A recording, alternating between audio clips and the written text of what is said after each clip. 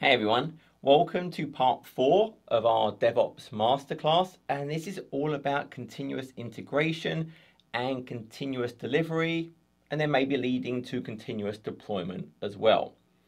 As you can see in the description, we have the playlist with the previous parts of the masterclass and depending on when this is, maybe the future parts and the GitHub repo which has all the artifacts around this and the previous classes, so check that out. As always, a lot of work goes into actually creating these, so a like, comment, subscribe and share really is appreciated and hit that bell icon to get notified of new content. So in this session, I really just want to focus on that CI/CD portion. So I want to really talk about, well, what is CI/CD? Why do we do it? Then actually look at some key features, and I'm going to use GitHub. Now there are many other solutions, but I'm really going to focus on GitHub and really has led to GitHub kind of the actions with some of the Azure DevOps history that obviously funneled in to create that GitHub actions. So when I think about this, and again, I'm not going to use PowerPoint this week. So we talked previously about the idea of these cycles. The whole point of DevOps and this Agile is we have these cycles of small incremental deliveries that build on each other of the value we have the idea that, yeah, hey, look, there's the planning. And then based on that planning, we have those cycles, we have the development. Now, as part of that development, there is collaboration between the various teams, the people on there. We obviously have to do delivery. And then on that delivery, we then operate the solution. That's gathering feedback, etc. So this is this continuous cycle, and with each cycle of this, we're adding that incremental value, these small pieces that we can then digest, we can gather feedback on what's working, what isn't, what's being used, what isn't, and we drive that. So we keep adding that value. Now, when I talk about one of those key aspects and doing this constant small cycles, well, that means we're constantly pushing out new code. We're constantly putting that into environments. We're constantly gathering the feedback. If we're constantly delivering bits of code, we have to constantly be testing to make sure we're not breaking things. So that continuous integration part, which is really here, that continuous integration, we have those different people using, for example, their Git technologies to have that distributed copy of the code in the repository and then we have to bring that back together to make sure we're not breaking things. So I want to look at the concepts really around these key components. Obviously, we covered Git in detail in part two. We looked at some of the tooling in part three. Part one, we covered this in detail around boards and all the different methodologies. But I want to focus on this CI/CD portion today. So if I think about continuous integration, if we take that step back if we just look at this kind of collaboration part, remember, as part of Git, we're probably going to have that trunk. The trunk is that main kind of branch. And in many companies, this might be called main, it might be called master, whatever. Now, as individuals, we're creating bits of code, but we're probably part of a team. We want to constantly be bringing that back together. Now, there's some methodologies where I bring that back together constantly in that main trunk. What's also very common is I as my team, so there's certain commits, those point in time views of the code. As my team, we might create a feature branch. And what I want to make sure is, really daily, everyone is bringing their code back together because we want to find if there are problems. We want to find them early and often. Yes, there might be some pain when we bring each other's work back in, but we can fix it while it's still a small amount of pain so it doesn't grow and become a much bigger problem to do. If we left it to the end of the project, it's going to be a huge amount of work. So we think maybe eat daily, I want to bring everyone's work back together. Now realize if I had these longing running kind of feature branches, so we call this a feature branch,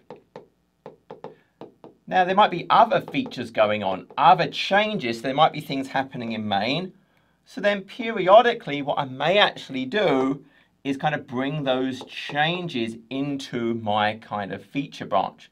Maybe I do a merge, maybe I do kind of a rebase that we talked about, so that when I eventually bring my feature into main, it's not, again, I don't want collisions at that point. And then when my project is ready, absolutely, I will bring that in to my main branch. And that would be kind of where we use a pull request. And then we have that kind of merge in. But if we consider, hey, I'm constantly doing these small incremental changes every night, we're bringing that together. I want to make sure it's not breaking. I want to make sure things still work. I want to avoid any long cycle of isolation. So we're constantly bringing in these small batches. So if there is a problem, it's going to have a smaller blast area. I'm not going to have to search for where did this thing break. If I'm doing these daily, continually integrating in everyone in that project's changes together, it's going to be a lot easier to actually hunt and find the problem. Now realize, bringing this code in together, the quality of the testing we're going to do is all about finding the problems, reducing the risk of when whatever we've done actually hits the reality of production. There's always still some risk. It's very hard to eliminate any risk, but the better the changes, the better the automation, the better the testing, we can really hone in and get a good confidence that, hey, we really are doing all of the good cases, we're covering all the scenarios, we're reducing the risk of when this hits the reality of production, something's going to go bang. And even when we do hit production, we're going to talk about this, there are different deployment patterns, different deployment strategies on how I roll it out to production to again gain confidence by maybe incrementally growing the amount of the user population that is actually impacted by that. So, okay, I want to do kind of continuous integration. So what is kind of that continuous integration? Well, as we kind of talked about, the whole point about this is when we do the commit, we're bringing people's code in together. Well, if I'm bringing that code in together, how do I know I haven't broken something? Now, when I bring in that code and I do that merge, I'll see if there's conflicts. Excuse me, Git will tell me, hey, there's a conflict here. I'll have to go and fix that. But also I may have done something in the code that actually breaks something. I've introduced a problem. So we have to test. Now, as I'm doing my development, me as the developer, I'm doing mini tests along the way. I know what my code should be doing. Ideally, I actually have test cases. I create the test cases first and I develop against passing those test cases. That's really kind of a fantastic scenario. But I need to, as we do bring this code together, I need to make sure it works as a whole system. We've not broken something. Now, once again, at least nightly on the commit, maybe a schedule, I want to run these tests to make sure nothing has broken. So we can think about, okay, my goal here, I want to answer the question, does code still work? That fundamentally is what I want to do. So I have to think about, well, does it still build, for one thing? Yes, I may have fixed the merge conflicts, but does it actually still compile? Does it still create what I want it to? And then I need to do some tests that I, I can do within the scope of kind of my pipeline to get, yeah, I, I think this is still performing as it would be expected to. So it's all about gaining that confidence. That's really what I'm after. Think, yep, we're, we're looking good. And then I can actually go and build some kind of artifact. Now that artifact could be an image, it could be a zip file, it could be a, a Docker image to then go into containers, I'm going to have something that's the output of this continuous integration. So the point is, hey, I want to build it. I want to run some tests that I can perform. Maybe it's individual unit testings, uh, maybe .NET tests, maybe an NPM, whatever that might be, and then create some artifact. And I'm going to actually push that to some kind of um, registry that I can then use further on. Now, when I talk about all of these build, these tests, these creating these artifacts, realize there's no magic. There's no just, hey, I'm running in thin air. fundamentally, whatever I do, be it continuous integration, continuous delivery, continuous deployment, there is something running this code. Now, the naming will vary. Some things will call it an agent. Some things will call it a runner. But it's some kind of compute. There's a compute resource somewhere, commonly, this is going to be a VM, that's going to do this work. So there's going to be these various kind of steps it's going to perform that does this, that sets up the right uh, dependencies I need, that does the build, that does these maybe minimal code type tests against what I generate, that creates the artifact, that uploads the artifact to somewhere. And when I think about these agents, these runners, well, maybe it's running up in the cloud somewhere. So maybe that is like a GitHub um, hosted. Maybe it's an Azure DevOps agent, Microsoft hosted. Maybe it's running on-prem in some kind of virtual machine. The benefit there would be that sitting kind of on your network and I can maybe get to other resources on my network. Maybe there's things I need to compile that, hey, it's some special dongle I have to have plugged in to actually make that work. It may vary, but the point is, obviously, these have to run on something. So when we talk about, hey, building and testing, we talk about the cloud, there's no magic. We always talk about that, and there is no magic thing here. It's running on something. So we want to answer these various questions. We have this continuous integration. Does it build? Um, does it still do kind of these basic things that can do some minimal testing around that? And then I want to create these various artifacts. So we think about, we have this pipeline. So if we come over here, if we actually, let's focus on the continuous integration first. So if I just think about, okay, continuous integration. And again, what are we integrating? We're integrating the code from the various people on that project. We're bringing it together to make sure it's still good. Now, how does this get kicked off? Well, remember, there's going to be kind of this repo. So we have the repo for our code. So for example, our Git-based repo that various people are making that changes to. Remember, we have the people doing the development work and they push up various commits. So they're making those changes. So I can think about something happens on that repository. So there's some kind of event. Now, very commonly that event is going to be, for example, a commit when we talk about continuous integration. It could also be a pull request i.e., hey, look, I'm at this stage, I want them to do a pull request into main. The first thing they're probably going to want to do is, hey, I, want to see that this does build correctly. So it might trigger a CI that we can then actually look and check those things before we then agree, okay, that was successful, maybe there's some other tests, then we'll actually go and perform that merge. So something is going to trigger my pipeline. So there's some event that makes this happen. That could be manual as well. It could be a schedule. There are many different things I could do to actually kick this thing off. But this is going to then lead to my pipeline. So something is going to happen. I'm going to draw this out because I don't know how much space I'm going to take up here. So that event, we're going to trigger the start of our pipeline. Now the first thing we're probably going to want to do is obviously we talked about it has to run somewhere. It's not running in thin air. So both things like all of the different solutions, they're going to have the concept of some kind of agent that can actually run these things. There'll be things pre-configured on those agents, but I might need other things on the agent. So I might have to actually do an install of some kind of dependency. So this might be using things like NPM, it might be using uh, NuGet, might be Maven, whatever that is, I'm pulling things into whatever is actually doing this work. So I have to set up the agent so it can do what I want it to do.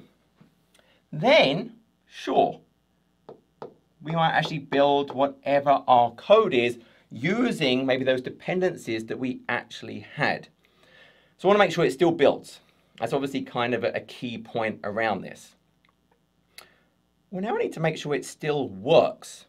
I want to test it, and I want those tests to be automated. I do not want manual things in as part of this. So we think about testing, kind of this base, does it still function? Now, I could think about, hey, this could be kind of unit type testing, maybe some basic integration, bringing things together to make sure they kind of perform as they would expected. But the key point, I want this automated. So there's some upfront work to make those things, to create that automated um, testing, but you really need it. If I'm going to do these continual integrations, I can't have some manual steps to do that test. Now again, this could be really anything. I could use things like npm test. There's things like the .NET tests. Uh, there's all different ways I can have this. There are special testing actions we'll can kind of talk about later. And the whole point here is if I get a failure, well then it's going to go and trigger something. Now, that might go and trigger a work item it goes and creates kind of a work item with the details. The nice thing here is this is running as this pipeline. It has a certain ID. This can actually link to this actual execution. So I have a link to see, hey, what was the failure? I can mark it as kind of a bug. I could assign it based on maybe who did the commit this is running against. I can have all of those various things actually happening. So I can automate all of that. And again, the better the testing I have here, the stronger my confidence that this is good, which is really all what we're focused about actually doing. I can have multiple tests running, remember. I can have these running in parallel so I can get this pretty quick.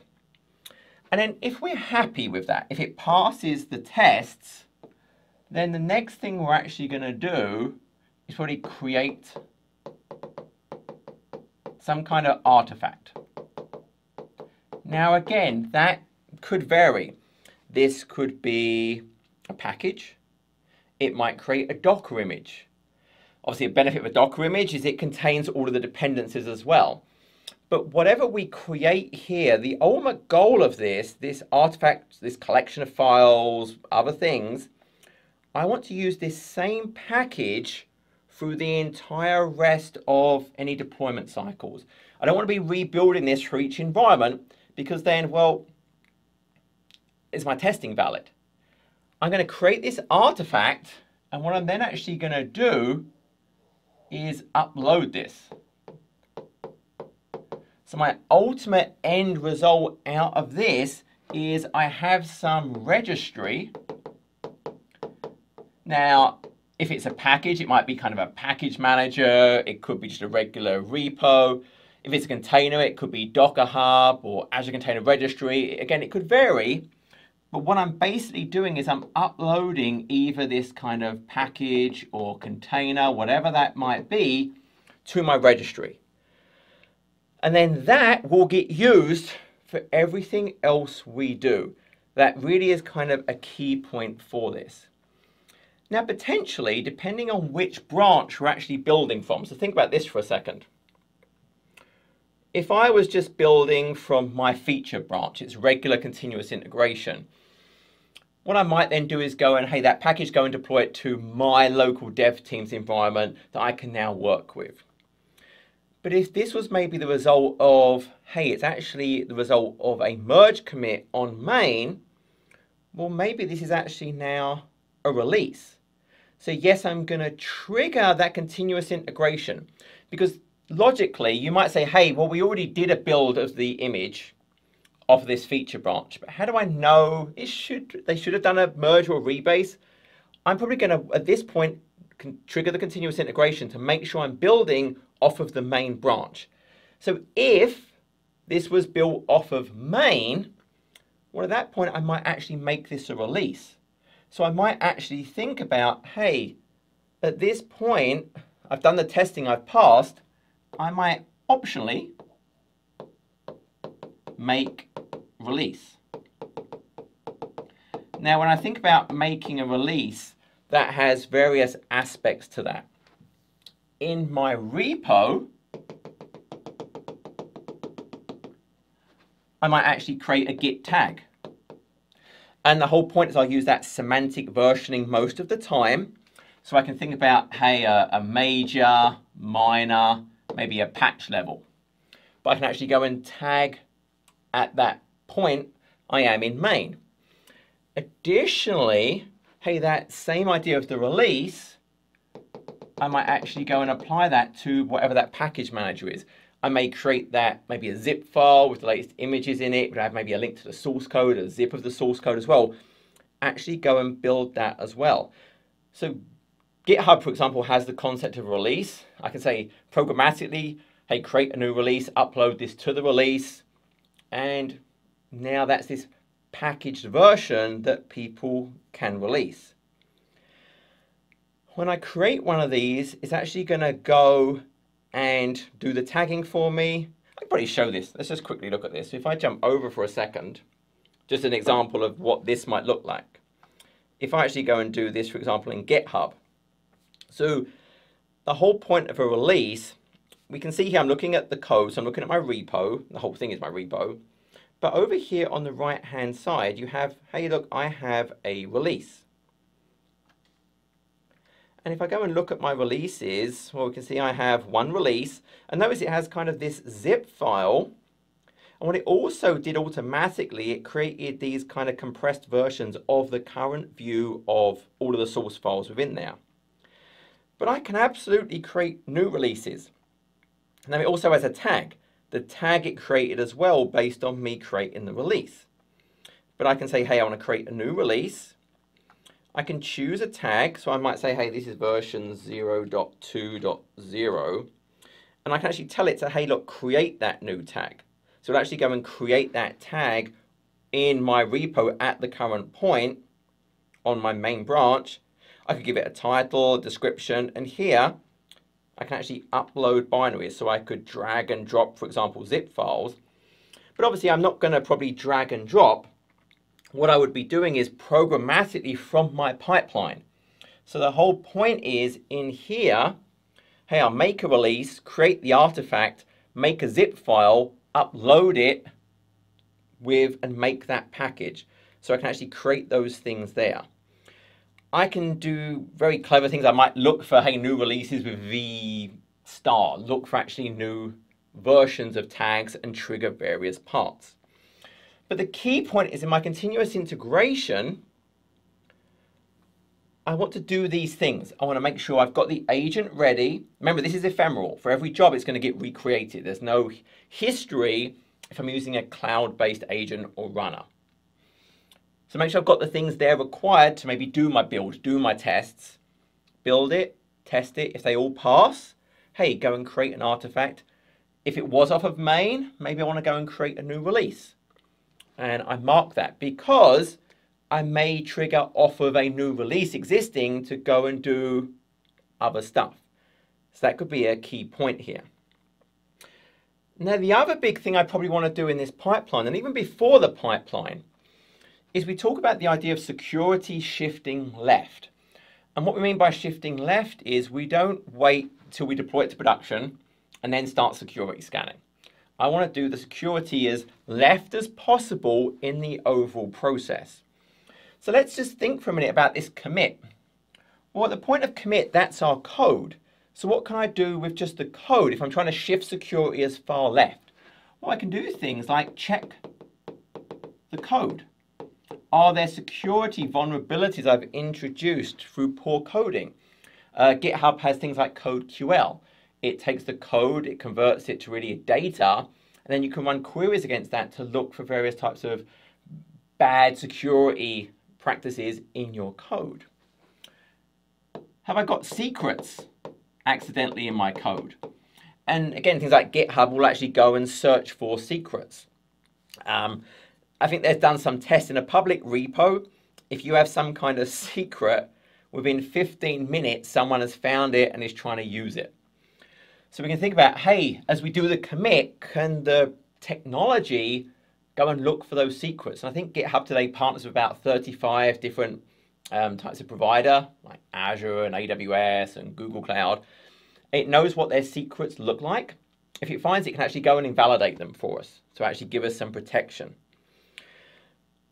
And also, if we think about we all these dependencies, I might open source is huge. I might be referencing other things in my program. So what is the health of my dependencies? Dependencies. So again, GitHub can build a kind of dependency tree, and then it has something called Dependabot. So Dependabot will actually go and say, hey, you're using this, this has a vulnerability. It can even create a pull request for me to say, hey, I have this confidence based on feedback from other people.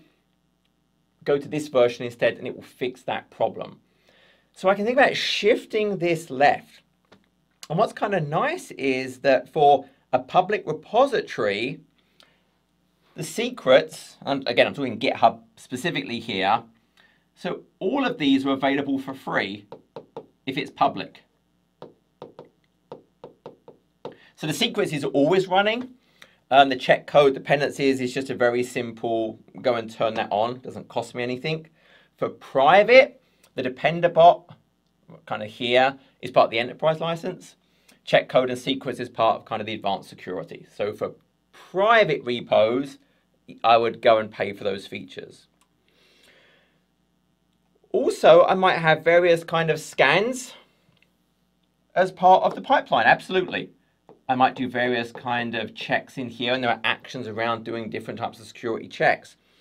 Then obviously I'm creating this artifact.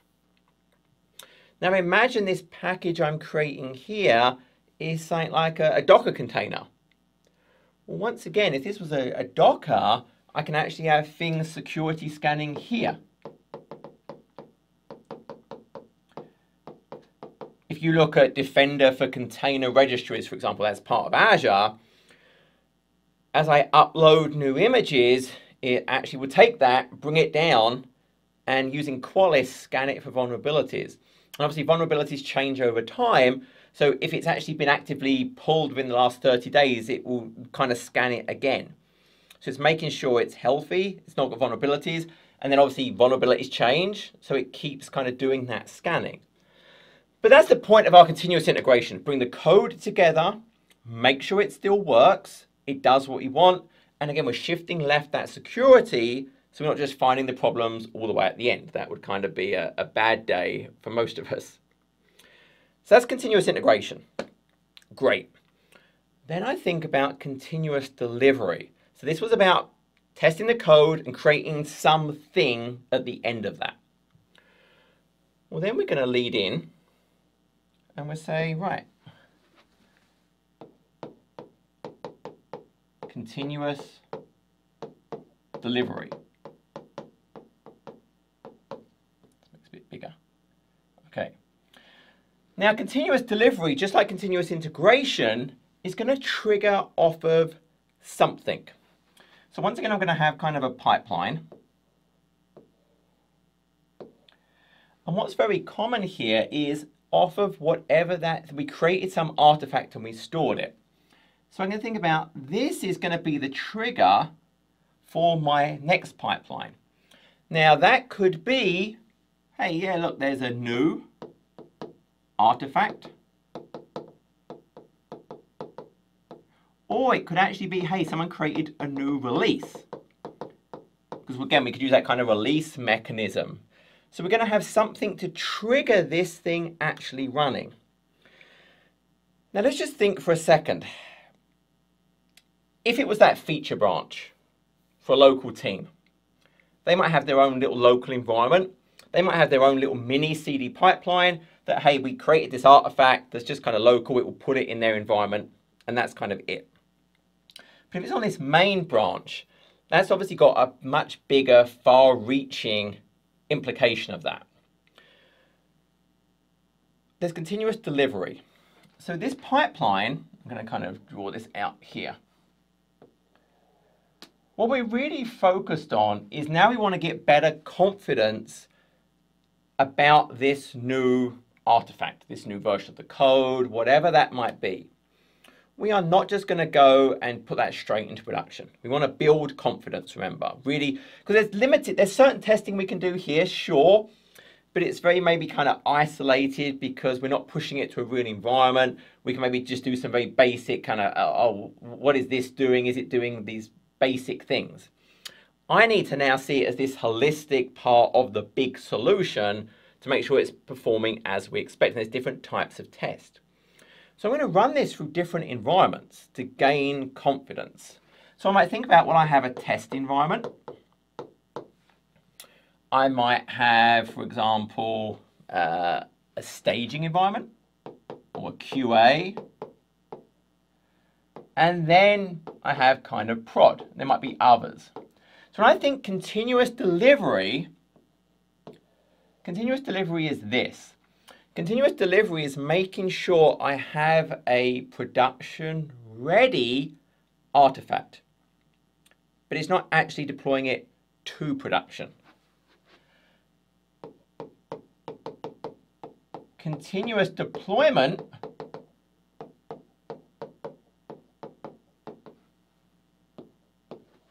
is taking it to production. But obviously continuous deployment essentially requires continuous delivery. I can't continually deploy to production unless I have production ready code. Continuous delivery depends on continuous integration to be creating the artifact that I'm actually going to go and push to production. So they build on each other. And continuous deployment is obviously that automated push. Now I say automated push, there can still be checks actually within there. So they all build. I have this constant things. Now, we have the separate environments. The whole point is I want to be able to do different tests and gain that additional confidence. So there are going to be gates. And we're going to talk a lot more about these. But I'm going to have gates between these. These are not just going to go and pass. I'm going to do various things to actually check. The whole point of this is, hey, I want these different environments. So I, if, if it's wrong here and breaks, I've not really affected many things. Here, there might be other teams and other things going on, but I've still not affected production. This, okay, that's a sad day. If I break things there, that's kind of a bad thing. So I think about deploying to different places. And again, remember, if it was like a feature branch and I'm testing, it would just be to my local app team. If it's on the main branch, that's when I think about pushing it through all of these different things. So now, my point is to take the validated code and push it through these environments. Now the first thing, if I think about any of these stages, it obviously is an environment. So that environment has to be built. Now, it may already exist. This could be something in Azure or AWS, it could be on premises, but I, I have to make sure at all of these stages, my environment is built. Now, I'm writing build, it may not be building it, it may be validating it meets my expected configuration. Now, how do I do that? How do I build the environment? I want to use infrastructure as code. The whole point of infrastructure as code is it's declarative. I'm telling it what I want the environment to look like. Because it's as code, I can use version control for this. So whatever technology I use, be it an Azure Resource Manager or Terraform or Bicep, whatever that is, it's code. So this same definition that I'm using here will actually go and get committed into my repository, which is actually a useful thing. So if I then change my definition of the infrastructure, well, it will go and trigger things. Now I might tag it as infrastructure as code if it's infrastructure as code, I don't need to do a rebuild here, but I would re-kick off the continuous delivery because I'm changing the size, the shape of my production environment. So I'd want to kind of understand that. And a really important thing about all of these, all of these different environments I, I might have through here, all environments production consistent. That is critical. There is no point in having testing completely different from production. It's got debuggers on it and it's got all these other things as just staging. Is my test still valid? I might have missed a dependency, but it works in test and staging because they're not like production. Is production consistent? Doesn't have to be the same size, the same scale, but I want it consistent with production to make sure the tests that I'm doing are valid. I could also think about things like databases. Hey, I, I might have kind of a database. So for my database is whatever the schema is, uh, configuration, again, those things would be as code. They're checked in. They might trigger if I change the database schema, it could go and recreate environments. So it's critical that all these environment builds are built off infrastructure as code and became, because it's declarative, it's idempotent. What that means is I'm telling it what I want it to look like and I can just apply the template. If the environment already matches what I want it to look like, nothing happens. But if it doesn't, it will make it so. Or at minimum, I could detect the drift so I could go and do something. Now, that infrastructure as code, that declarative technology could also be used inside, for example, a VM. There's things like Chef and Puppet and PowerShell DSC. Again, I want to make sure everything is configured how I want it. Everything is version controlled, it's as code in the repo that will actually go and drive through and make sure those things are done the right way. If it's Kubernetes, uh, I have my YAML file, maybe it's Helm charts to bring multiple YAML files together as a complete set. That's declarative. I want it to look this way. And the key part again here is I want that production consistent. And then remember, we're then going to think about, remember we had that artifact in the registry. We are going to go and actually do our deploy the package, the code, whatever that is. And again, it's the same version. I don't want variation. If I rebuild it for prod, what validation has that done? So I think about this package is same across all environments.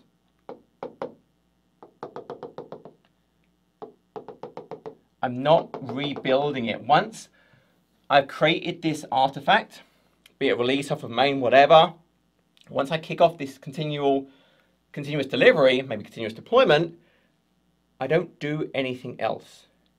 I have that same package or container from like Docker Hub, whatever that might be, but I've got that from the registry. I have consistent dependencies. Dependent. I forget how to spell when I write on a whiteboard. I think the brain has trouble doing two things at once. So these different environments, I'm consistent between them. There's no variation, be it application deployment, image deployment, API deployment. I'm using um, NPM, NuGet, uh, Maven. I can have my own package managers for my company to make sure the version hasn't changed. If maybe there's multiple days between this, these dependencies, they must be same version. So I might think about having my own kind of private package manager where I bring in a particular version and that's what I go and build these from. So I know, hey, there's not been some variation, something has a mess with it, which will then invalidate my testing. So it's super important to actually go and have that. And then, well, I'm actually going to do the testing. Now testing here is a little bit off, maybe I like smoke testing. There might be validation tests and other things going on here. But I obviously have to then actually go and test these things. That's critical. So when I think about these kind of tests, all of this testing, what am I testing?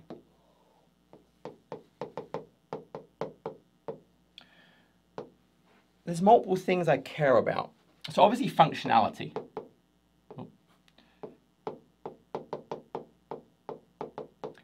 Does it do what it's supposed to do?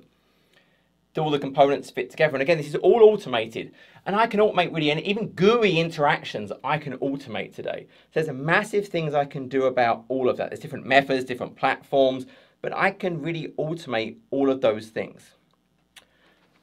I think about testing my security. Now again, we've shifted left, but I still might run various checks at these different environments to make sure I'm not seeing vulnerabilities. I can have scanning tools in these environments. I can check various things, which will bring me to compliance. Have I broken any compliance? Now, depending on where I'm doing this through, for example, in Azure, I could use something like Azure Policy. So that would actually let me go and check, hey, am I still within the requirements of this environment, the guardrails, I'm still behaving within those. I might check performance. Now, performance is a tricky one because remember, these are production consistent, not production equal. I'm not so much testing does it meet this number if it's not, um, and it's very hard to get those same kind of metrics. But I have a number of what I've seen in the past for my tests. I have those benchmarks. So what I might look for here is I'm looking for a variance. So I put in this new version of code, maybe a new database schema, I've done something. And maybe here, if I saw a variance of maybe greater than 2%, maybe that's a fail. So if that's a fail, so we would stop wherever we are, we would go and create kind of that work item idea, and we go back to the drawing board to look at what, what is going on. What has actually caused that to happen? So we're having these things, the whole point of this pipeline is to gain confidence.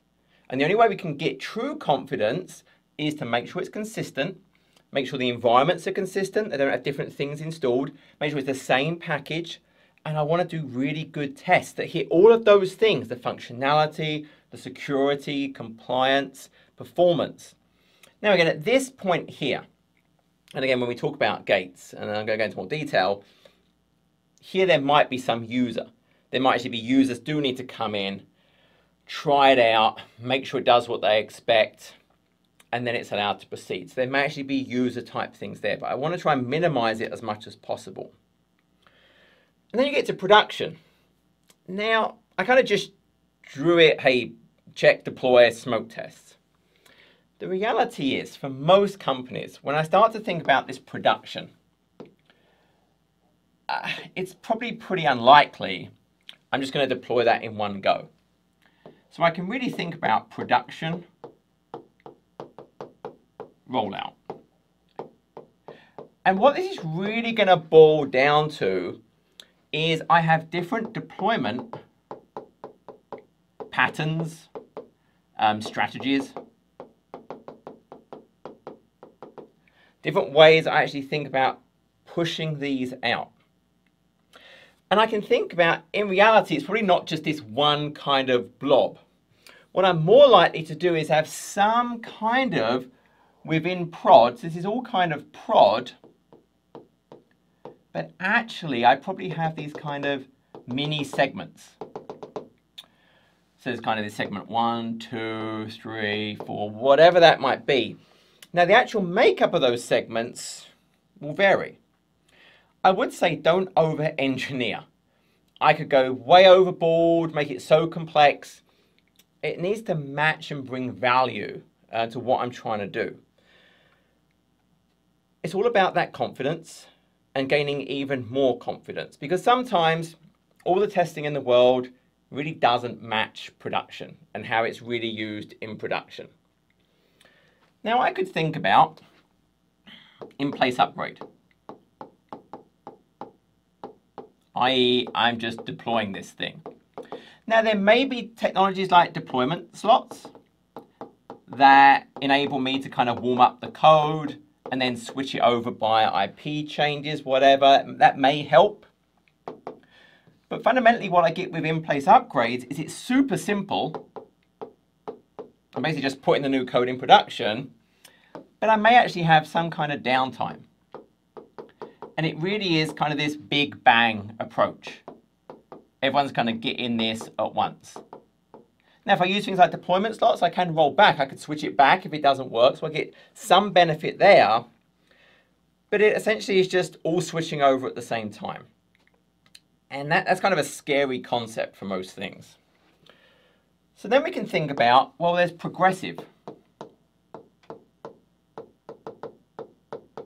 And when we say progressive, what we really kind of mean are rings. So I have different segments of the population. That's a key point of the rings. It's different people or systems are in a certain ring. Might be like a, a pilot ring, a pilot two ring, early adopters, general population one, general population two, general population three. So the point is it goes through the different rings that are these specific parts of the population of this software. And so I gain more confidence. The first slice will be very small. Second slice, um, a different part of the population maybe does different parts of the functionality. But I'm gaining confidence as those specific parts of the population get the code. So the benefit here is I have great control. Fantastic control of this. And sometimes it might be feature flags that I'm turning on or off for different parts of the population to see the new functionality. Again, feature flags is something I've not really talked about, but they can be really super useful because if you think about, maybe I do use trunk-based development, so I'm constantly actually merging, committing to main, but my code's not ready. So I can use feature flags to basically disable the code, but still bringing it together until it's actually ready. So when I think about some of these deployment strategies, well, maybe I enable it for these different segments through turning on those feature flags. That can be something I can do. So this gives me great control, but it can be quite complex and it may take time. That may not be a bad thing. But obviously, as I go through different segments, it takes more time to actually deploy those things out. The next thing we can actually do is Canary. Now, Canary actually looks a lot like Progressive, but this is really just a percentage of the population. So, hey, I get 5%, then 15%, then 50%, then 100%. So there's no targeting to it. It's just, hey, I maybe have weighting. So like I could have a load balancer, for example, and that load balancer initially maybe directs 5% to some area and then 25% to the new code, then 50. So I could actually trigger it using those. So I'm just exposing it to a gradually bigger portion. So now I'm not worrying about specific people. It's just, hey, a certain weighting goes somewhere. So it's still a pretty good control. It's simpler than this, but it's not simple. And I still have that, hey, it still takes time, and there is still an element of the complexity. There's still things I have to do there. And then we have things like blue-green. Doesn't have to be blue and green. Really, it's the idea I have two environments. And when I have the new version, I deploy it to the other environment that's not currently production. And again, here I might combine this with these things to actually start pulling portions of the population over. And then eventually I, I kind of flip it. And now blue, which was prod, is now empty and ready for the next staging. So this is simpler in a lot of ways. The downside is resource use. Because if you think about it, if I have to have a whole separate environment, depending on how I'm actually switching these, I might have a whole environment not doing very much. Now, in the cloud, where it's consumption based, maybe that is not a big deal because I can essentially create the other environment only when I need it. It's not just sitting there idle all the time. So that consumption nature of the cloud may absolutely offset that to a certain degree. But I'm going to point is I can not just think about, hey, prod, I may actually break this down into different methodologies to get that confidence. I'm going to keep using the word confidence. It's all about getting better confidence that this code I'm putting in is not going to destroy my world, which is production. So I want to make sure, hey, I'm feeling pretty good on this. Now, obviously, if at any point in all of this, if I was hitting points here of failures, it stops, it rolls back, and I restart whatever failed and go back. It could be it wasn't code, remember, I might trigger this pipeline because I had a new infrastructure as code or a new database schema. It would still be a commit, triggered this, if it doesn't work, I roll it back. In production, if one of these slices maybe starts having a whole bunch of work items, because again, I can have gates in all of these as well. So these can all have gates. Maybe it's the number of work items raised against that particular slice. If I've got more than 10 tickets raised, let's stop. Let's work out what's happening and then I'll let this actually go and carry on.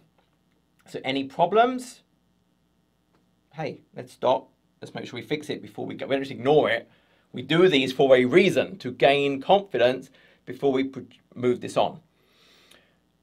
But again, where is our pain? If something's not hurting us, maybe we don't need to actually fix this.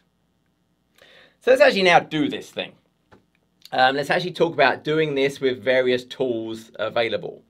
And I'm going to focus on GitHub. But remember, GitHub kind of grew from Azure DevOps. So I'm going to start with looking at Azure DevOps and then grow this into thinking about what we actually have today with GitHub Actions there are others. Jenkins, for example, is super, super popular. GitLab has solutions. There are lots of solutions that have the idea of enabling all of this to be a reality. I'm just more familiar with kind of the GitHub and the Azure DevOps, so that's what I'm going to show. I'm not saying that's what you should use. It's just that's what I am familiar with, so that's what I'm going to demonstrate. You use whatever part works best for you and kind of your company and what you're used to realize all of this is really based around, you saw that in the pictures, there's some event. There's some event, some event triggers continuous integration, a commit, a pull request. Some event triggers the pipeline, new artifact, new release. So there's some event that makes stuff happen. That's really what this all boils down to. So we have event, do stuff. And then everything else is about, well, how do we do stuff? And that's what we're going to focus on first. So how does Azure DevOps do stuff? And I can think about with Azure DevOps, and again, you, you might be saying, oh, I don't use Azure DevOps. Totally get it, but it's actually quite useful to understand where it's come from, to understand where GitHub Actions is today. So you have pipelines. Now that was kind of a major segment of technology. And then what you had under pipelines was build pipelines, and then you had release pipelines. And these were GUIs. So build was obviously continuous integration. This was obviously continuous delivery, continuous deployment. And these are GUI based, or at least they, they were kind of GUI based. So let's just quickly look at this, just a couple of minutes to understand where we're coming from. So if I jump back over for a second, so let's go back over to here. We look at my DevOps. I'm actually going to switch orgs for a second to my SavillTech DevOps because I've got an old one laying around. So if I go to my pipelines over here, now it's called pipelines here. It's pipelines, pipelines. It's because it used to be called builds. So it was pipelines builds, but they've renamed it to pipelines, and we'll see why. And then I also have releases, i.e. CD. So if I look at ye old days and look at my pipelines, I'll select this one and we'll edit it. It's a GUI. Now I can see it's basically, I've got some job, I've got an agent job one that runs on an agent, so it's running on something. Again, it can't run on thin. And then there was just steps and I could add new steps to this. There was this set of steps I could take, these are actually tasks within the step, that I could drag over into the things I need to do. So I can say, hey, install Bower, run Bower, use .NET Core, restore, do some tests, publish the test results, publish, um, publish the artifact. So this was the CI. And you can see I can, I can see the complete CI pattern here. Hey, install the stuff I need to actually do the build, do the build, do the tests, and then publish it, create the artifact. So that was the idea. Graphically, I could kind of drag and drop these various things. Then I had a release. Now remember, what's the point of a release? The point of the release is to get it into environments. So I triggered off of an artifact and I could have this automatically, this continuous deployment. Hey, an artifact's created, run this. In this case, this was kind of this progressive ring-based deployment. And what I could actually do is I could have pre-deployment conditions and post-deployment conditions. So I could say, hey, for ring one, I could turn on approvals and I could also turn on gates. So I could think about, hey, a deployment gate could be check for policy compliance, call a function, call a REST API, etc., etc. So it was this GUI-based thing to actually create those. So that was kind of the key point. So two separate things, GUIs. The challenge with that is it wasn't code. So it wasn't really living in my repo as a way I could easily version control and leverage that. So what they've now actually moved to is YAML for pipelines. That's why it's been renamed. We don't really call it build anymore. I can still do the GUI. This is still there. I can still kind of do the classic kind of the name they always give things that they say are not very good. Everything's classic is really not very good anymore, except for music. but now it's these YAML-based pipelines, and it supports multi-stage.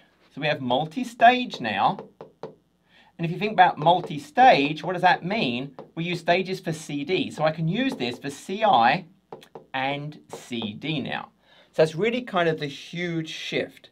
It's code, it's in our repo, I can version it, it's a bit of a higher learning curve because it's now YAML, but it's code, it's version control. I can actually use that for various things.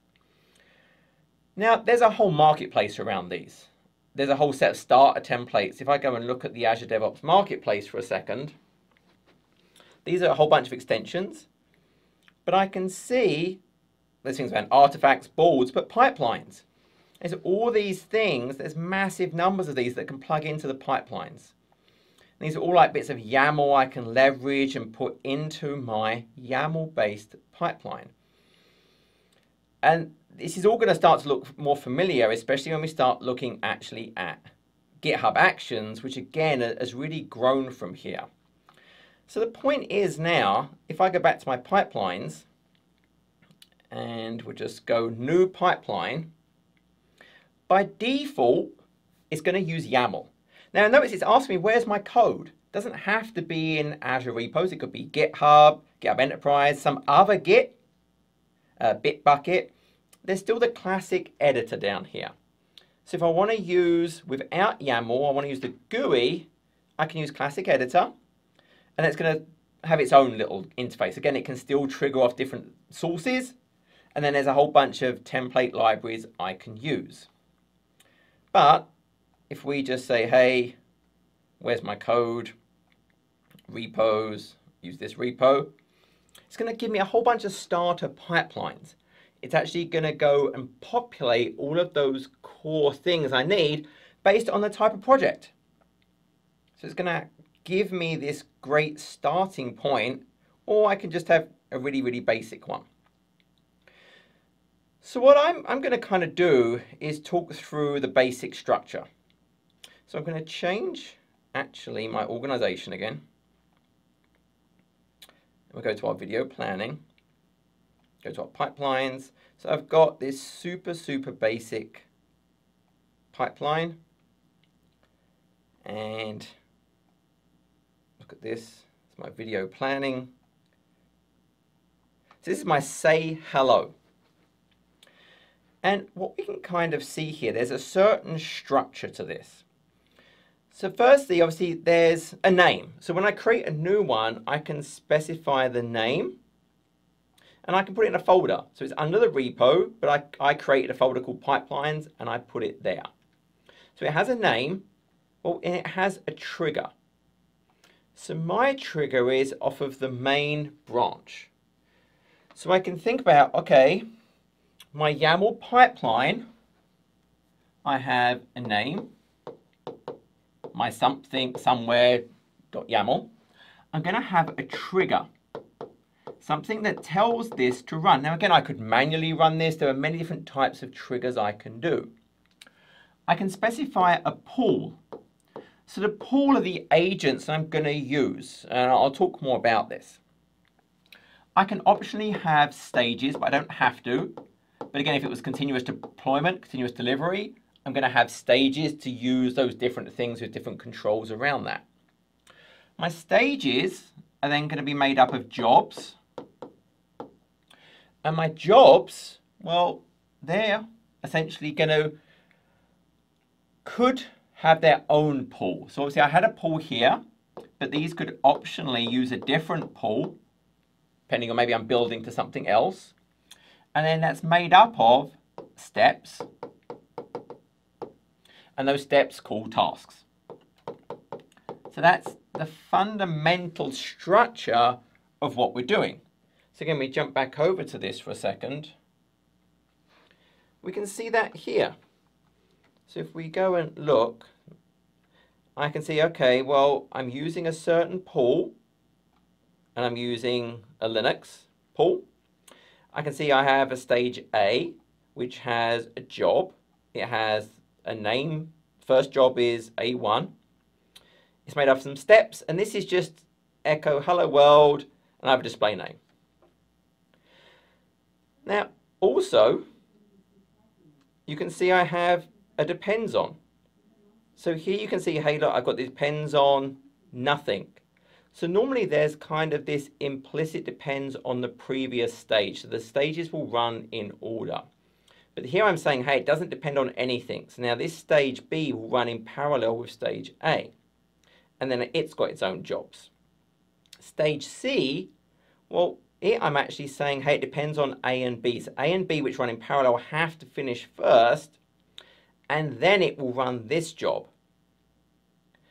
And we can see this time it's actually using this thing called an environment. Okay, we'll, we'll come to that. And it has its own steps.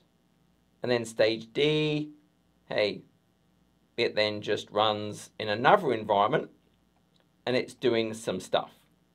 So basically just having these various things within here. So we've got those things I can actually execute. So if I look at that structure for a second, there were a few extra things I kind of added into this. So optionally, we could have kind of this depends on.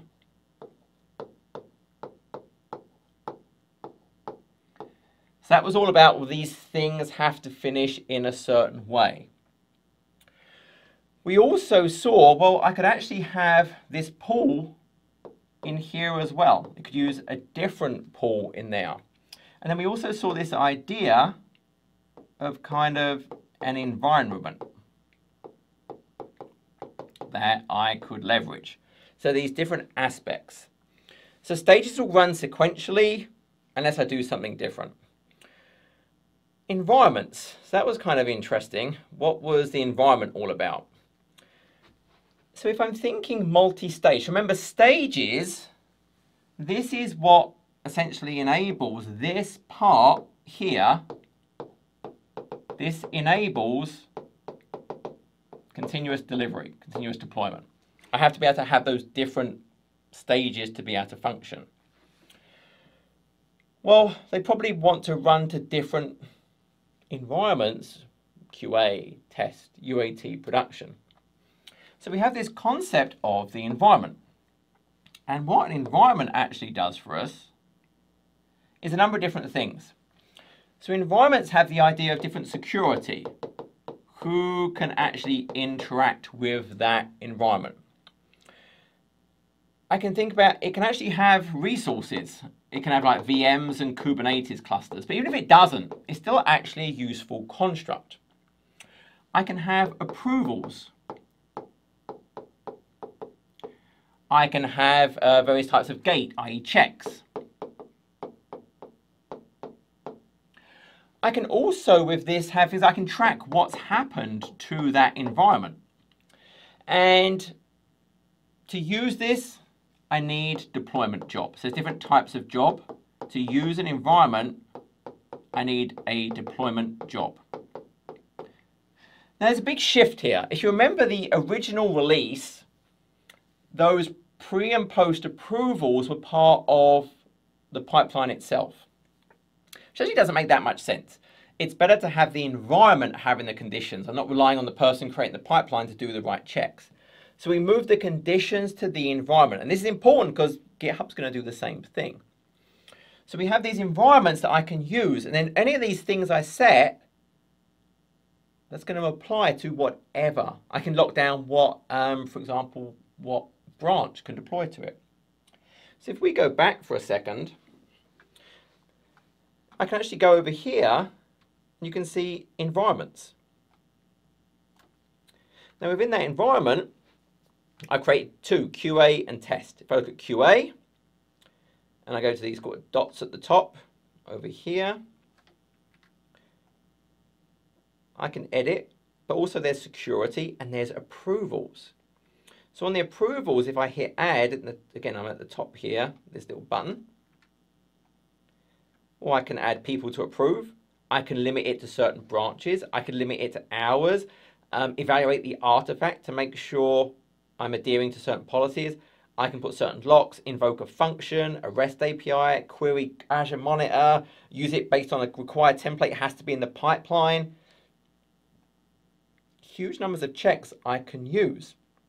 So then when the pipeline actually wants to use the environment, I'm not having to specify any checks here, but it will essentially make it so.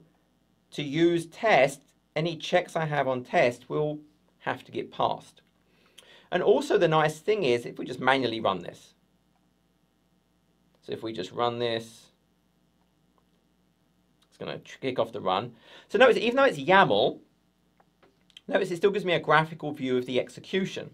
And remember I said these would run in parallel because the depends on was nothing. So it's waiting for an agent to be available. And then these are going to kind of start in parallel. I can expand them out and see the individual jobs. Then C depended on A and B, and then implicitly D is going to depend on C. So I can see B is finished already. I can actually see it, oh, it wrote out a script. Oh, there it is, hello, another hello. From here, I could see A is kind of checked out. So that had an options check out the code. It said hello. Now what will happen is C will start. And again, each of these stages can run in its own environment. So this is running a different environment. So I'm going to get kind of a different agent to go and run this. So it has to get an agent for this. It wait for both of those to complete. But I get huge, great information on all of these different things. And in the environments, I can see the last change that impacted them. So I can see, oh, okay, are actually running on QA right now. So I can see the last activity. So even if I don't have any resources in it from an Azure DevOps perspective, it's still really useful for me to see well, what has happened to these environments. I can see the actual jobs that have recently run against them. So I can see that is now actually finished. So there we go. So it ran all of those different things. So that's why environments are really super useful. I don't have to worry about the checks in the job itself. It's actually just going to kind of use those. Okay. So I've kind of mentioned the agents and it's running on the agents. So all of these times where I've got the word pool, well, it's running on an agent. So I can actually think about, hey, all of these things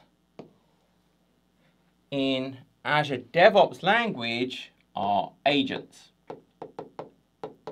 These can be Microsoft hosted. And if they're Microsoft hosted, they can be Windows, Linux, or Mac OS. Again, I can still install things, but they are ephemeral. They're going to get created, then they get deleted. Now, things in the same stage can use the files from each other, but outside of that, uh, it's deleted. It's recreated at the same every single go. I can also have self-hosted. So self-hosted is I install the software, but now it's running in maybe my environment. So the benefit here could be my internal resources. Maybe I have something it needs to be able to access. Maybe it's deploying to something on-prem that a cloud-hosted agent wouldn't be able to get to. It can also be long-lived. It doesn't have to be, but it, it can actually live a long time and have maybe caching between it, persistent files, so maybe it's a bit quicker as well. There are certain timeouts, how long these things uh, can run for, but again, I can actually set these at a kind of a job level if I want to, and use different sets of agents. So that's where we've kind of come from with Azure DevOps. And then we've kind of got to that YAML point. If you want to play with Azure DevOps, there's actually a nice little DevOps generator you can go to. So the DevOps generator site, I'll just kind of show it quick. What it lets you do is basically specify a, a starter and it will create your entire repository, your entire project for you with a whole bunch of pre-canned content and it lets you play around with it. So here I could, I would just kind of sign in and then actually let me go and pick the scenario. So this, the link to that is below in the actual description for the video. So GitHub Actions, uh, let's kind of dive into that. Now, there's going to be a lot of familiar with the Azure DevOps pipelines, the new YAML-based one, because again, the way this kind of came to life was, well, they kind of took a fork of that code and then, I mean, they changed a lot of things, but there is a lot of familiarity with it. So if you understand that, what I'm going to talk about GitHub will make a lot of sense. So if I think GitHub, so that was Azure DevOps. Let's kind of keep the flow going. So GitHub. I really should use consistent colors. So we'll say GitHub. And what we're really talking about here is GitHub Actions. GitHub Actions is all built around the idea that there's some event, which we're familiar with, and that event is going to trigger a workflow. So that's going to trigger a workflow. Now, that workflow is going to have some kind of name.yaml.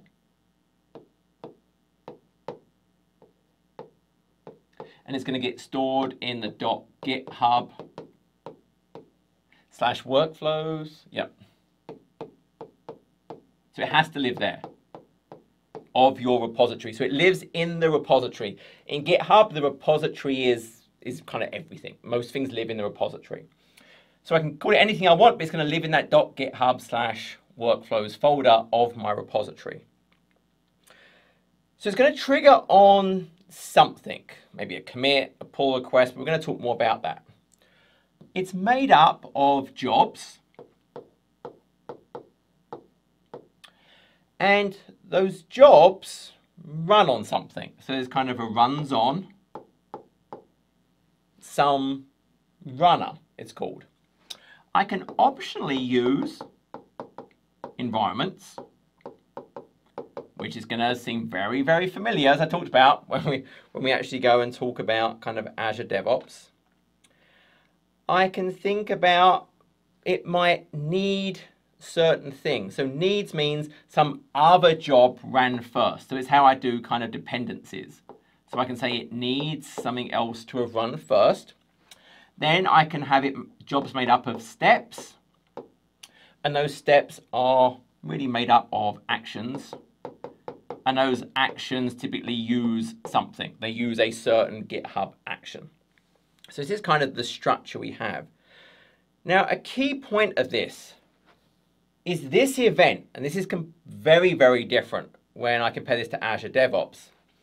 This can essentially, these events can be anything. It is not just CI/CD. It absolutely is CI/CD as well. I can absolutely do things based on a commit, on a pull request, on a new release or artifact. Absolutely, I can do those things, sure. Um, I can do it on manual, and I can manually trigger this thing. I could do it on a schedule, but I could do it on a new comment, a new collaboration. I could do it on someone new has joined it. I could do it on a new discussion point. I can essentially create these workflows to automate anything. If I go and look at the documentation, I can look at all the events that can trigger workflows. And it's huge. There are so many different types of things that can actually trigger workflows in here it's not some small little list. It's this massive different set of things that I can actually trigger for this. So if you kind of think about anything happening in GitHub, I might want to have some automated process for, I probably can. I can automate really anything I want. I can even have a webhook to trigger these things. So if we think about that structure for a second, let's jump over to here. So again, I just go in my, I'm in my repo. I can go over here to actions. And again, with actions, if I just say I want to create a new workflow, it will actually go and look at my repository. It will look at the type of code in my repo and say, hey, why don't you start with this? So if I had like, for example, Node.js, it would give me things about building a Node.js uh, application. Here it's got options, hey, I could deploy a Node.js. If I looked at this quickly, what we'll see is my on, i.e. my trigger, is on a release of anything created. So there's all these various things available to me. Now I'm going to start with a basic hello. And what we can see here really is very, very simple. I gave it a name. I'm triggering on workflow dispatch, i.e. I'm manually running it. I have a section of jobs. This job is just called build. I'm running on Ubuntu latest. And then I have a set of steps, which are really not very interesting. Now my first step uses actions slash checkout version 2. So a key point there is, okay, there might be different versions, there's references, and I'll talk more about the actions in a second. Then I've got some that are just using a run. I'm just running a script, a echo hello world. I could also have a multi-line script down here. But it's really just made up. So this looks super, super familiar of what we just did. And I could absolutely run that if I select that for a second, so I can actually go and view runs rather than manually running it, which I, I absolutely could. Um, just go to my view runs. These are all the things that have kind of triggered. Notice I could do a run workflow here. Just run that off of, I could select a branch. But here are all the runs of this one. I can see oh, there's the build step. I can see all of those individual steps. So that's checking out the code of the repo. If I ever want to use the code, I have to actually do an action to get the code first into my, remember, this is an agent. This is a runner that's ephemeral, it's created. So if I want to be able to use the code in the repo, well, I have to do a checkout and get the code into that runner. And then it's running the various things. I can see all the output. When it's actually running kind of live, if I jump back for a second, it's going to finish by now anyway, so there it is. But when it's actually running, Let's actually rerun the job. Once it's actually running in here, you get kind of this live log to see what is actually going on. So hey, it's like setting up the job. So I get this live log of everything that's happening actually during that execution. So there's huge amount of detail available to actually go back and troubleshoot and everything else. So that's kind of a really simple kind of action there. Now I mentioned before it has to run on something. so when we think about, okay, this runs on, that runs on is essentially the runners for our environment. So just like Azure DevOps, there's a whole different set of those. So I can think, okay, there's GitHub hosted. And once again, it's Windows, Linux, Mac OS. And once again, I can do self-hosted. The OSs are the same that, that are supported on that self-hosted model. And again, I have that same idea, hey, I can access internal stuff. Once again, I have the idea that they can be, um, sorry, they can be long-lived if I want them. Don't have to be, but they can be long-lived if I want them to be. And just in case you're wondering about the actual structure of well, how does that really work, again, these are called runners. So these are the runners, they're not called agents. If I'm running that on premises, for example, so maybe it's a VM, and I install the GitHub runner in there, so the thing about GitHub is up here, I'm not opening up any firewall ports. And again, ADO works exactly the same way. If I have my kind of firewall in my environment, it's actually, it makes an outbound connection to GitHub. So the connection is that way for 43. I'm not opening anything up inbound from the internet. That's the connectivity it's actually going to use um, for that. And again, they're ephemeral. They're wiped every time. Um, if we look at what ones are available to us, so this talks about uh, exactly the cloud hosted running. So that's the GitHub hosted runners here. And we can see the labels we can use. So I've got things like, hey, Windows Server 2022, Windows latest, Ubuntu latest, Mac OS, Mac OS latest. So they're the versions of runners um, I can actually leverage.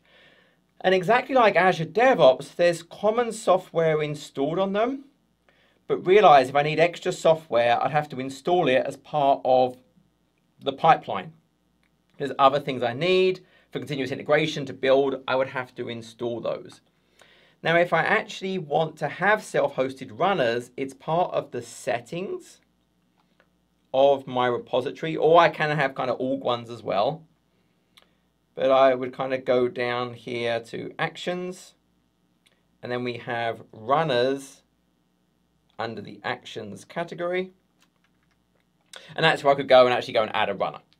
And then I can have secure about who can use them and all those various good fun things.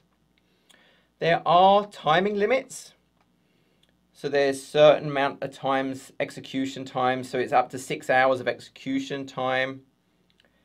Um, each workflow run is 72 hours. There's certain usage policies for these. Again, you get a certain amount of free minutes, for example, for um, the public repos. Even private, you get a certain amount of free as well. But you can go and look through this. Again, the links in the description below to find out all about the billing aspects and using these various things. So we, we have all of that available there. Now, I talked about these actions. An action is fundamentally some reusable piece of code.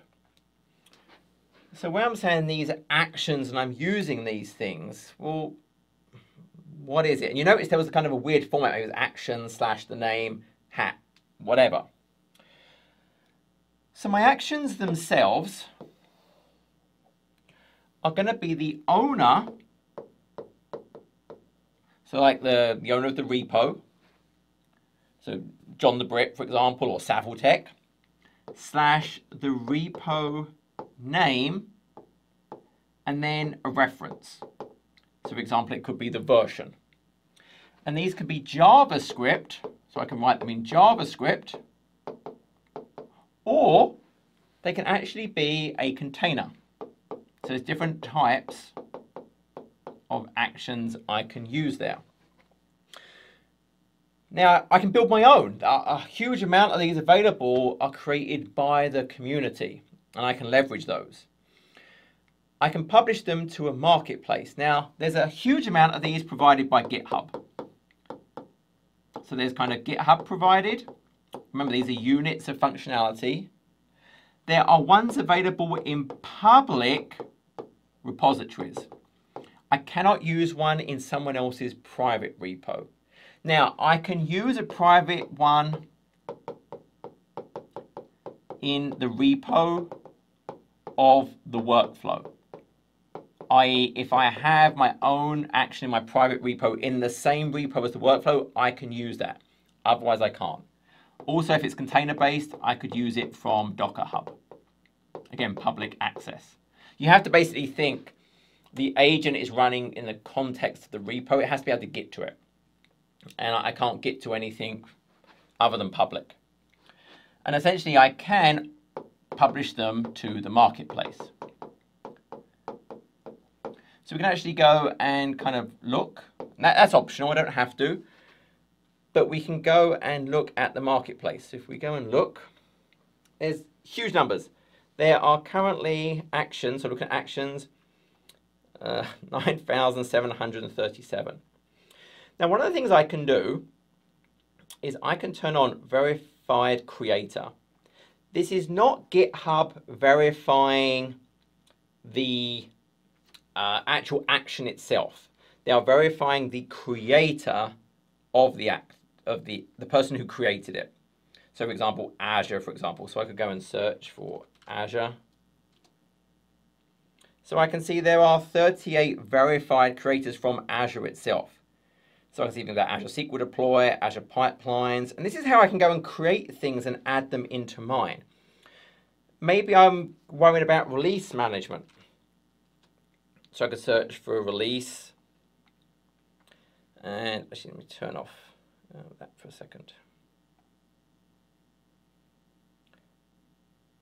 So I see all these different things that I could do about creating releases. People have created actions about this, um, package management. I can go and find something.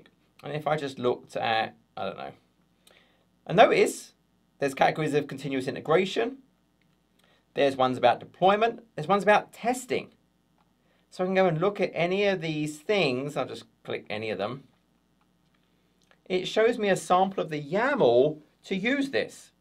Notice the format. So, okay, it's using the actions kind of owner. This is one that GitHub provided. The checkout repo, and I'm using the V1. And then if we think about, well, now this is the owner, he created this, and then the repo, and then it's just the master.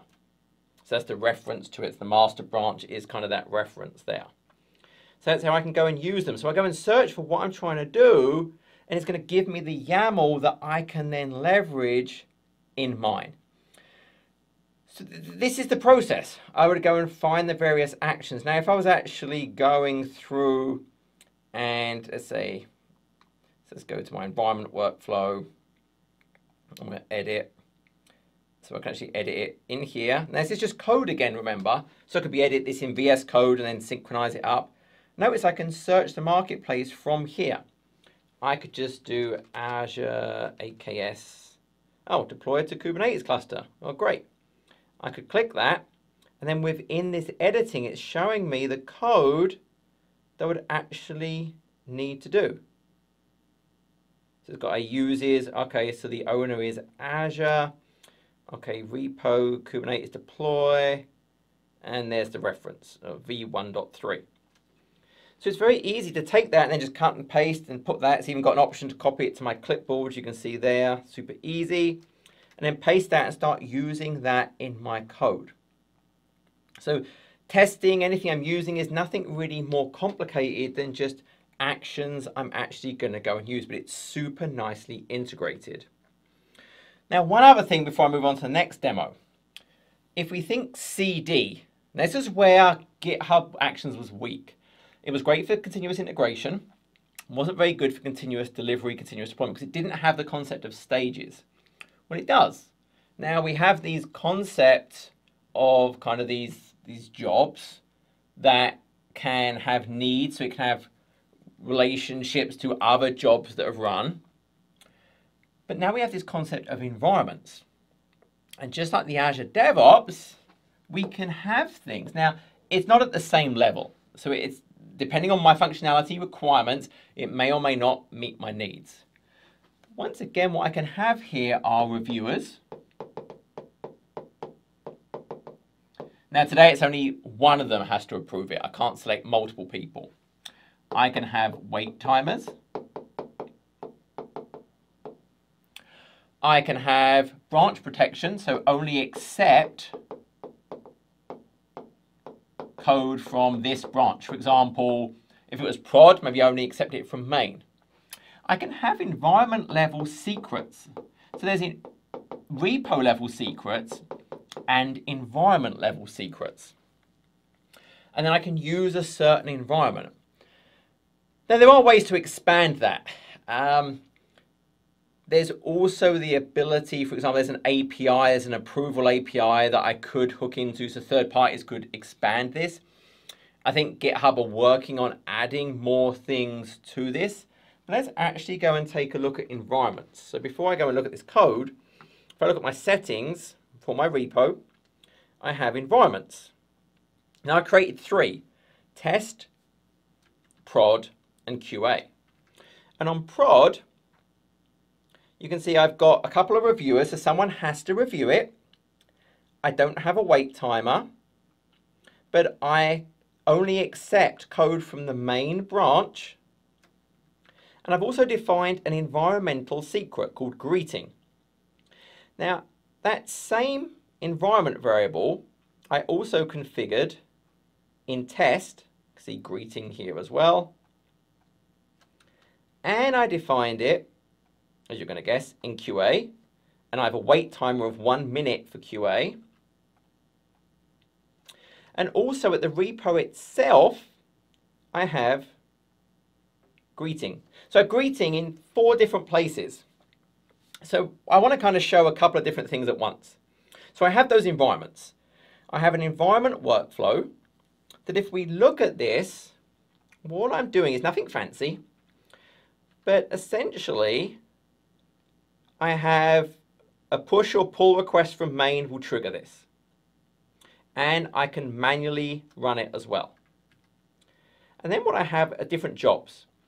So I have job one runs on Ubuntu latest in environment test. And all I'm doing is writing out a greeting, but I'm taking out of secrets greeting. Now, because it's environment test, it should be getting the greeting of test. Now, one of the funny things what GitHub does is if I try and output secrets.greeting in the log, it will just put three asterisks. It will hide it for my own protection. And what I did is I actually set it to be test, test, test in test, QA, QA, QA in QA, prod, prod, prod in prod, and then uh, repo, repo, repo in the repo. So to actually show it to you, I'm just doing a quick check on does it equal test, test, test? If it does, write out test. It's the only way I can show you the secrets are different based on which environment I'm in. But in all of them, I'm just accessing secrets.greeting. In QA, secrets.greeting. In no particular environment, secrets.greeting. And then finally, in environment prod, secrets.greeting. But notice I'm checking for prod, prod, prod in that one, repo, repo, repo in that one, QA, QA. So they should have different values depending on which environment they're running on. So that's kind of the key point of what we actually have here. So from this point, if I kind of look at my, my workflow here, this right here, um, I can actually go and view my runs. And I'll just Let's actually notice it's got this update, it's waiting. I'm just going to, um, uh, it would have timed out. So I'm just going to run the workflow. So let's run it now on main. And what we'll actually get is that same kind of graphical view. So here's my workflow. And notice, hey look, it's job one is going to run first. Then it will run job two.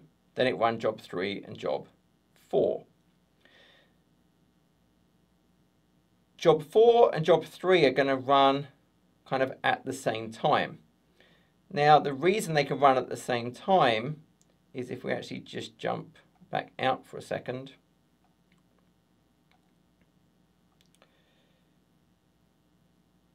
If I look at job four, notice job four needs job two. Job three needs job two. So as soon as job two finishes, those other ones can actually run. Job two needs job one. So I can define the relationships actually between them. So that's how those are running. So we go and view the runs. So we can see QA is waiting. Remember I had a one minute timer, so job one is executed. Job two is waiting for that one minute timer that I actually defined in there. So now the wait is finished, so that job will now kick off. So job two will execute. If we look at job one, notice it outputted test. So the secret equaled test, test, test. It used the environment's variable, not the general repo one. Go back to the summary. So now job two is finished, which was running on QA and output QA. Job three is also finished. No specific environment, so it outputted repo.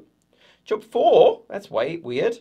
Oh, it's waiting for review because I had reviewers for the environment.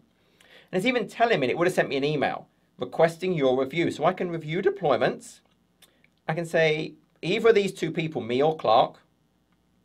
I'll say, yep, um, manual tests done, looks good, approve and deploy. So now I approved it, that job will actually go ahead and start. So that's prod. If we look at prod, it outputted prod because that environment secret was used, not the repo general one. So the environments are giving us actually some, some nice things there. And actually, just can I show this? Let's have a quick look. So if I go back, um, if I view the workflow runs to try and show you me trying to test this initially. So let's have a look.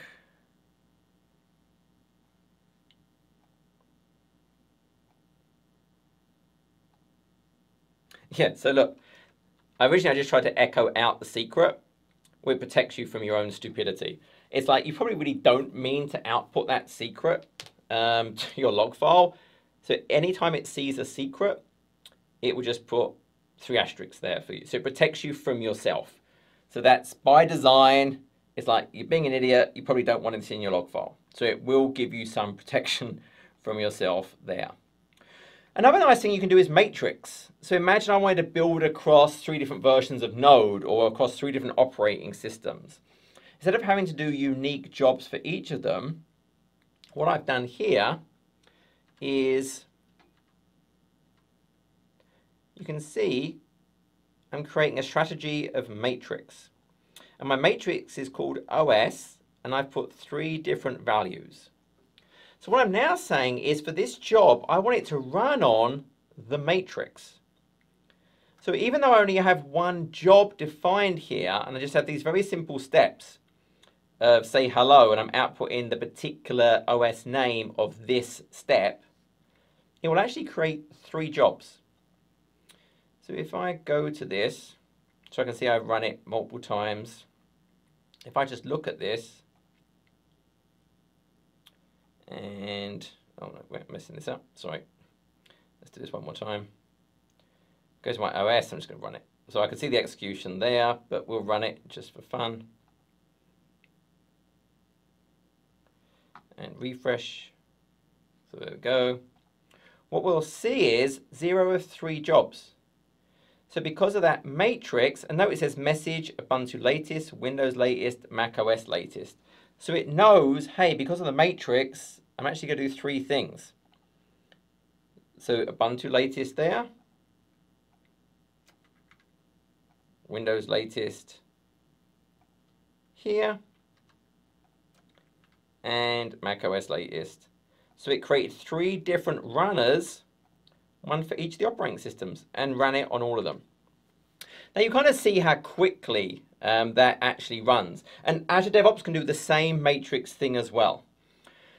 The reason it runs so quickly is, although it's an ephemeral VM, it, it has one sitting there waiting that are blank ready for you. So you're not actually waiting for it to go and actually create the VM in whatever that cloud is. It has some waiting, which is why it's a lot quicker than it would normally take to actually create a new virtual machine. So that's really the power of the environments and having those on the environment, the reviewers, the wait timers, the branch protection, those environmental secrets are super useful because I might have different um, keys, different credentials to talk to QA or staging or prod in Azure or AWS or whatever that might be. So that's a really powerful capability. But hopefully you, you see the kind of commonality between this evolution of the functionality we have. Now, as, as I kind of talked about, from a billing perspective, you get a certain number of minutes. If it's a public repo, I think it's just free. Now, it's free and unlimited, but they are looking. If you try and create a, a job that's doing crypto mining, they're going to see that and kill it off. So don't do that. You ruin it for everyone. Um, I talked about kind of the packages you create. So when we talk about that more in a future class, but these kind of registries, so Azure DevOps obviously has the concept of artifacts. For GitHub, you have the concept of packages. So if we jumped over for a second, in my code, we actually have over here on the, the right-hand side packages. Now today in GitHub, packages are really repo specific. It's not super easy to kind of share between repos, have kind of this enterprise level. There are org level packages. There is the ability for containers now to have better control on who can see it, who can use it. And I think that container model that they have at the org will kind of flow through to other types of package over time. But you can see, hey, if I do have those different dependencies, rather than using some public NPM or NuGet or Maven, I would pull it into my package management. So I have a specific version. I only want those used. Maybe I've done security checks against them and that's what I could then actually leverage. So it helps me kind of have that great control. And obviously I can push my own things there as well that I then go and use. So that was kind of the, the high level thing. And that's the CI/CD. I mean, lots of moving parts, but it really fundamentally boils down to the idea that, hey, I have code going into my repos. My team, we're constantly bringing our code together. I want to make sure it's still good. And so continuous integration does the build, does some basic testing, it creates some artifact, and then to get that confidence it's ready for delivery, hey, we kick off continuous delivery, we make sure we consistently build the environment in a production consistent state. Remember, that's infrastructure as code. It might be I've changed the environment, in which case I might kick off a CD based on a certain type of commit on environment. I don't have to rebuild anything because I'm not changing source code but I would rebuild the environments. And I want to stage out and test, hey, an environmental size change or type of resource. I want to test that as well. Then we have consistent deployment of the same package to all environments. We have great testing across all the different areas. And then from a technology perspective, Azure DevOps has really evolved from this GUI with separate build release to just YAML pipelines with multiple stages using environments to GitHub Actions, multiple jobs that can have dependencies between other jobs. So I have that staging environments with different types of reviewers and wait timers. There's an API approval that I can use to expand that. But I'm using these very well-defined actions at those reusable units of code to use my CI and my CD. So that's uh, that that's it for this particular part of the class. Uh, as always, I hope this was useful. As always, there's a huge amount of work goes into preparing for these, so I really do appreciate kind of a like and subscribe. But uh, yeah, all the the samples of this are in the repo in the description. And until next time, take care.